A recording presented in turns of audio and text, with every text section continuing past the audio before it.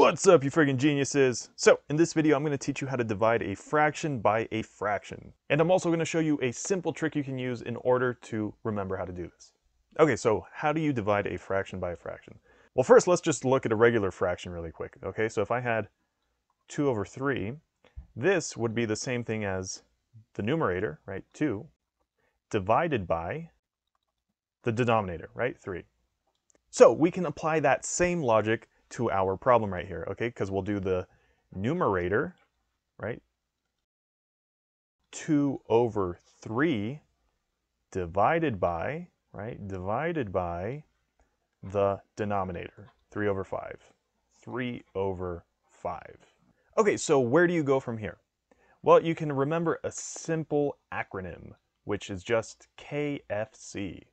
So if you're hungry, KFC stands for Kentucky Fried Chicken. But in this case, it's going to stand for keep, flip, change. Okay, so whenever you get to this point right here, okay, just writing out this division problem, you're going to remember this little acronym, okay? KFC, keep, flip, change. What do I mean by that? Okay, so we're going to keep the first one, we're going to flip the second one, and we're going to change our sign, okay? So if I write this out, we're going to keep the first one. Okay, so 2 thirds is just going to stay as 2 thirds. We're going to flip the second one. So 3 over 5 is going to turn into 5 over 3. And then we're going to change our sign right here. Okay, so instead of dividing, we're actually going to multiply.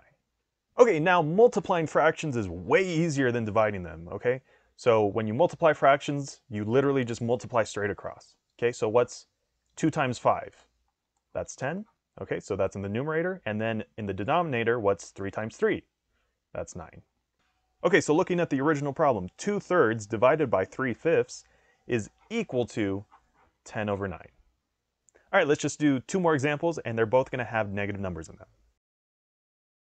Okay, so here we have negative 2 thirds divided by 3 fifths, positive 3 fifths. So how are we going to do this? Well, remember, our first step is just going to be rewriting this whole ugly looking fraction into a normal division problem. Okay, so this is going to equal our numerator, negative 2 thirds, divided by, right, that's what our fraction bar means, division, divided by 3 fifths. 3 fifths. So this is going to equal, well, let's see, I'm going to keep this first one. So negative 2 thirds is just going to stay as negative 2 thirds. I'm going to flip the second one. So 3 over 5 is going to turn into 5 over 3. And then I'm going to change the sign. Okay, so instead of division, we're multiplying. So how are we going to multiply these? Well, there's two ways you can think of it, okay? So this negative sign is obviously what might be throwing you off.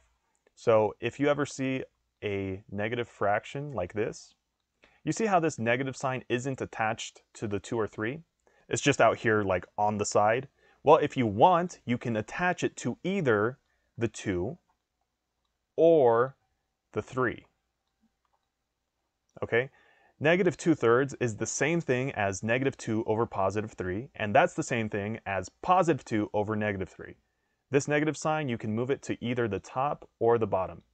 So in this case, if I wanted to, I could get rid of that negative sign right there, and then I could just put it on the top here. So then this is a little easier to see, right? So negative 2 times 5, well, a negative times a positive is a negative, right? And then 2 times 5 is 10. And then that's going to go over positive 3 times positive 3, which is 9. Okay, so then your answer would be negative 10 over 9.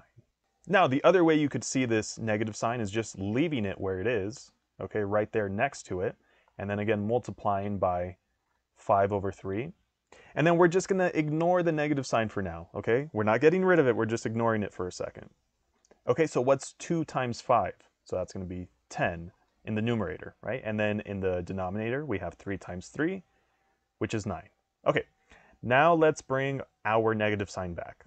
And now the way you can think about this is, okay, what is a negative number times a positive number?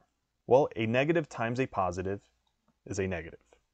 So you can apply that same logic here and tell yourself, okay, a negative fraction times a positive fraction is a negative. fraction. So in either case, you can see we got the same answer, right?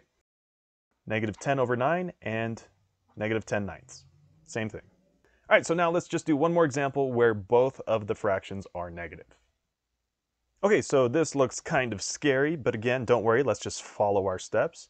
So let's rewrite this as just a regular division problem. Okay, so the numerator is going to go first, right? So negative 4 sevenths. And then we're going to divide, right? Divide by our denominator, negative 2 thirds. Negative 2 thirds. Okay, now that we rewrote this, we can apply the KFC method. So again, we're going to keep this first fraction as it is. So negative 4 sevenths stays as negative 4 sevenths. Then we're going to flip this second fraction over here. So negative 2 over 3 is going to turn into negative 3 over 2.